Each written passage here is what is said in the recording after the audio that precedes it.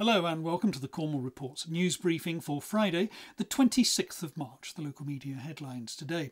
Now, it's often the little things that turn out to have big consequences, and so we can only wonder what will happen to Public Health Cornwall when it is integrated into a new government agency which comes into being next week.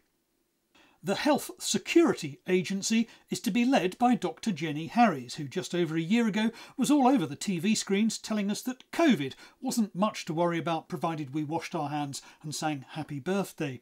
With COVID restrictions due to be eased slightly on Monday, Cornwall has lost its place as the safest in the southwest and is now just behind Devon.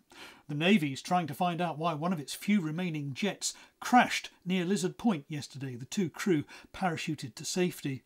The Carbis Bay Hotel planning row continues with the local MP saying the natural environment should be restored once the G7 summit is over.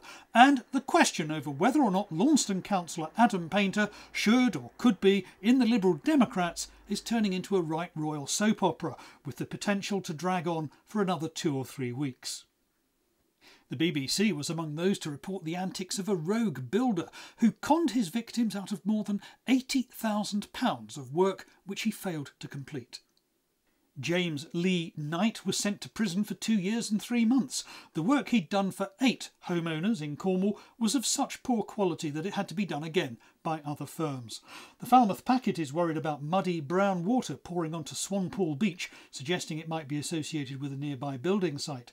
The Camelford and Delabole Post tells us about two youngsters who are fundraising for the RNLI. And finally, Cornwall Live says there's still room for more tourists to come here this summer. And those are the local media headlines for now. Thank you very much for watching. Do please share this video on social media. I'll be back again on Monday. Until then, have a great weekend. Bye bye.